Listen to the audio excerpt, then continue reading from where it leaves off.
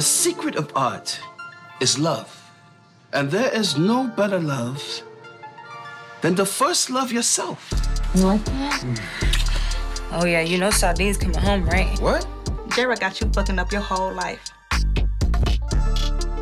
Mom's supposed to be a soldier, not no damn babysitter for high school kids. Lady! Better got your dick hard. Don't touch. Why do you even come to school if you don't care? Man, this nigga Saladin comes in the club like he owns the spot. Presses up on GG. You think he gonna become a threat? I don't know. You get out of his lap now. You're getting too attached. Who this nigga you been fucking with? Some security guard I heard about? Is there anything you need to tell me? No, I'm fine. What you look like over there?